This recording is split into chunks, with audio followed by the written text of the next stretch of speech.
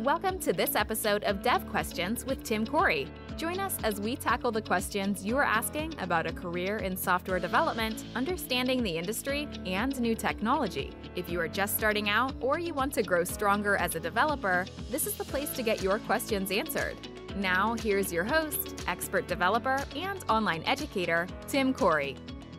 What are some resume tips for a C Sharp developer? How do I get my C Sharp resume to really stand out among the crowd? That's the question we're going to address in today's episode of Dev Questions. Now, this question actually came from the suggestion site. And if you have a question you'd like to see answered, go to suggestions.iamtimcorey.com and enter your suggestion there. Hopefully, you'll see it in a future episode of Dev Questions. Now, I'm going to give you my five tips for making your resume stand out as a C Sharp developer. And the first one is let's talk about basics. This is the basics that you need to have for resume. One page, not multiple pages. No one's got time for that. One page. It needs to be scannable, no big paragraphs. So try bullet points. Make sure things stand out. You may say, well, Tim, I've got so much stuff to cram into it. it, it it's important that I communicate all this stuff. I cannot cut it. Well, if you can't cut it, it's not getting read. So is it really that important? Because if you want to die on that mountain, go ahead, but you're going to actually reduce your chances that people will see your resume and really spend any time on it. I know I have seen resumes that are multiple pages, that have big blocks of text, and by default, my eyes just kind of glaze over and I kind of miss the context of what they're saying because I just don't have time for that. When I'm reading 300 resumes in a day, I don't have time to spend 10, 20, 30 minutes reading through your paragraphs, understand what they mean, understand the what you're trying to communicate and how that applies to you and all the rest. Make it simple for the person reviewing. So break it down, make it one page, put the most important things there. My resume, after over two decades in the field, in doing consulting and doing as an IT director, as a teacher, and so many other jobs that I've had, my resume is one page. Now, I haven't updated my resume in probably four years because I don't need to anymore, but it's still going to be one page. I would still boil it down to one page worth of content. So that's just the basics. That's tip number one. Keep it simple. If you try and put too much stuff there, it's just going to do the opposite of what you were hoping for. It's going to not be as well viewed. And really what you're talking about with resumes is you're talking about percentages. There's nothing that gets you 100% guaranteed to be the best possible resume for every given situation. There'll be people that only get three resumes across a desk. They'll read the full paragraph. That will resonate with some people. Some people will like that and they will look to go on to the next step with you because of those large paragraphs with multiple pages of your resume. However, that's a small percentage of the jobs. Most will skip right over that and potentially not read anything. So we're talking about the odds here, making them as good as possible for the broadest audience possible. So number one, the basics. One page, scannable. Number two is let's focus not just on one type of review.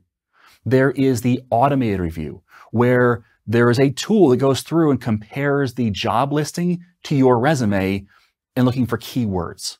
And so you want to focus on making sure that it fits that and make sure that the, the resume does work well with the job listing. For example, if they list something like C sharp and you put .NET everywhere, that's the same thing or can be the same thing, but it doesn't match the keyword on the job listing or maybe the other way around.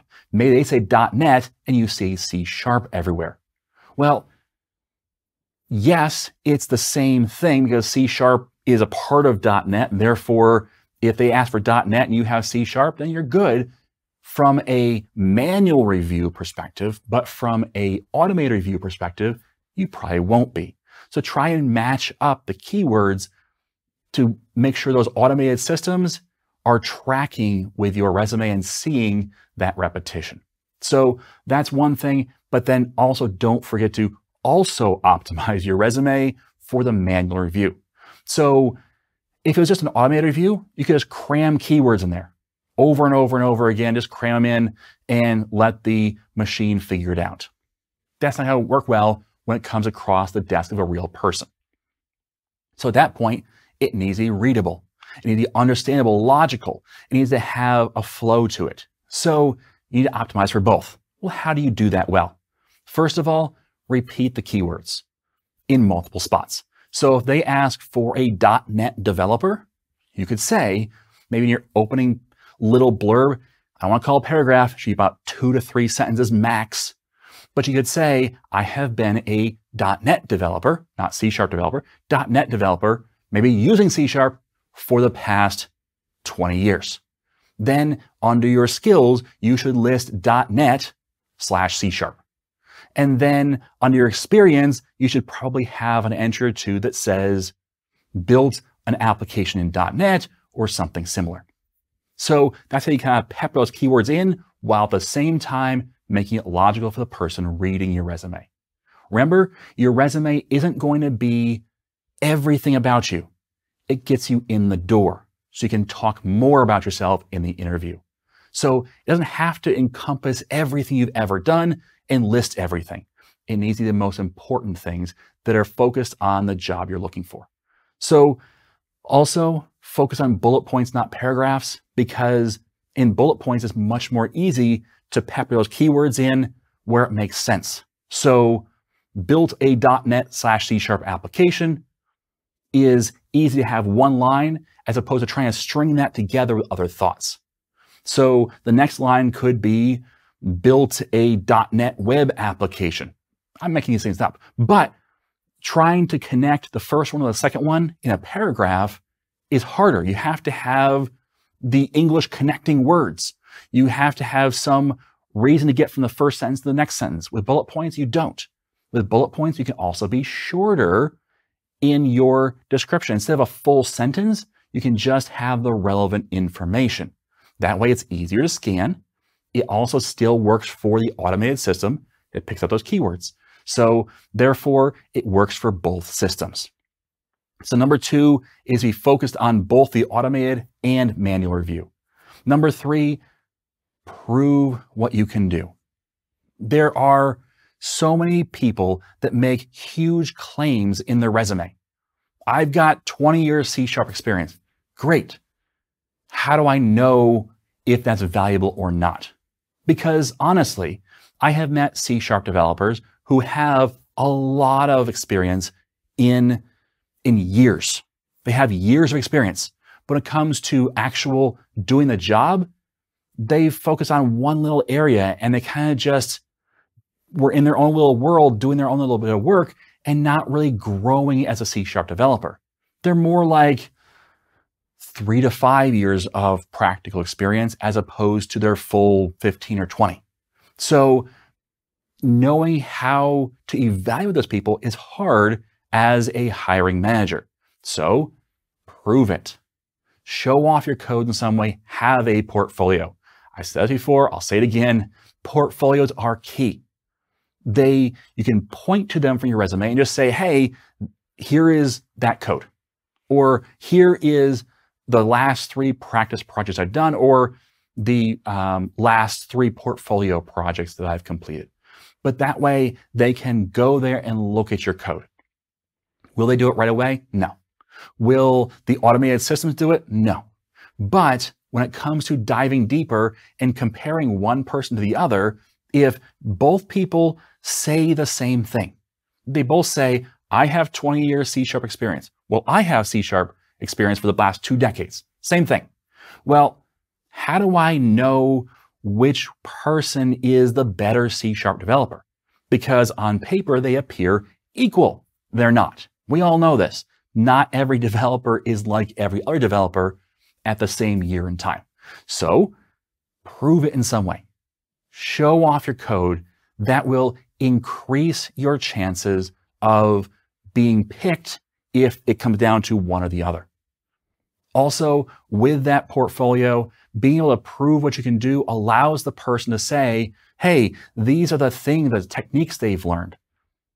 In that portfolio, it will be important though, to make sure that you have at least one portfolio item that fits roughly in the genre of what they're looking for. Yes, you can get by that out this, but we're talking about expanding those odds, making the, the opportunities larger when you're applying for a job. So if you're applying to, to a, a manufacturing facility, maybe create a small portfolio item that would fit in a manufacturing environment or fit into a business environment in general, at least. Don't just have game samples or samples that are web samples when you're applying for a desktop position.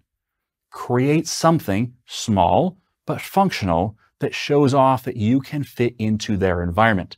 Because when they look at it, they're going to look at it and say, oh, I can see them doing the job they actually are going to be hired to do because they've been doing it already. If you, the, the farther that gap is between what you show off and what you'll be doing, the harder it is to make that mental leap to say, yes, they could do the job. So the closer it is, the higher the percentage is that they will say, yes, I can see this person doing a job. Let's talk further.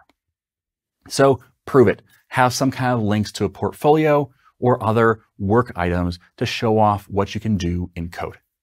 Number four is focus on experience over education. Now, if you are brand new to the field, if you have never worked in C Sharp before, if you're just starting out, or if you've only got a few years experience, then maybe you have a bigger section about your education.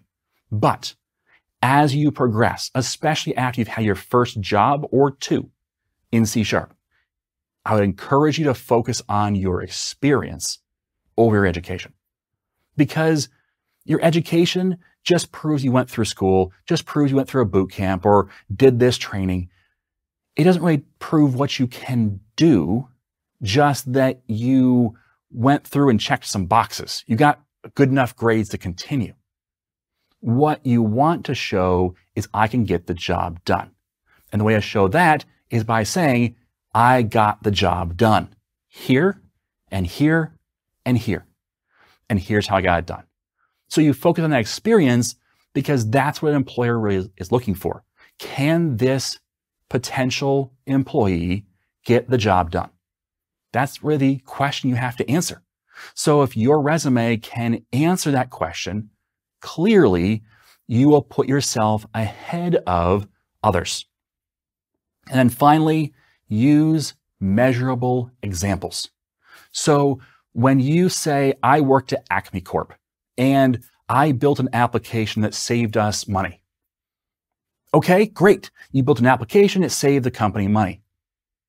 How much money? $10, $5, dollar, 50 cents? What did it save you? But if you say, I built an application that I built a C sharp application, more specific, that saved the company $50,000 per year. That's measurable. It immediately draws their mind to, oh, wow, I would love for them to do that for me. So if you can measure it in some way, try to do so. I built a C sharp desktop application that serves 575 clients. I built a web API that has a traffic throughput of a thousand people an hour. Okay. Try to have some type of measurable number that you can put on it. Now, you won't know exact specifics in most cases. Try to estimate. Don't exaggerate, but try to estimate in a way that does make sense favorably for you. So let's just say an API, you get a, a hundred people per hour. Well, a hundred people per hour doesn't sound huge, but maybe you can say 2,400 people per day, or maybe multiply it out 10,000 people per week. You see those numbers sound better, even though it's the same number, just in a different scale. So you can do that where, you know, saving the company $10 a day may be okay, but what if you save the company $3,500 a year? You know, like it's the same amount, but it's a different scale. So you can kind of tweak those things to be in your favor. Just don't exaggerate. But that way you can show off what you did with measurable results. All right. Measurable results. Those are the things that are important. All right. So those are the five things that I'd recommend, those five tips to make your C sharp resume stand out among the crowd. Remember, you're trying to increase your percentages of getting to the next step in the interview process. So there are some things that maybe, yeah, it will work in one situation, but what you're looking for is the broadest potential uh, of working. Okay. So that's what we're trying to do is improve your odds of getting to that next step. These five tips will help you improve in those areas. So thanks for the question. If you have any other questions, remember go to suggestions.iamtimcorey.com. Thanks for listening. And as always, I am Tim Corey.